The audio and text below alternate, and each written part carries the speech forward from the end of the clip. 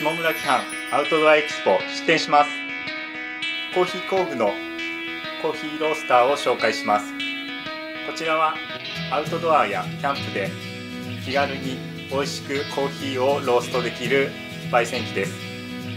特徴はこの回転する焙煎方式。回転することでムラなく豆をローストできます。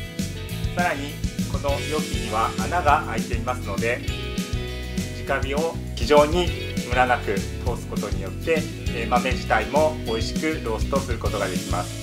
容量は約 50g から 200g を豆を一度にローストできます。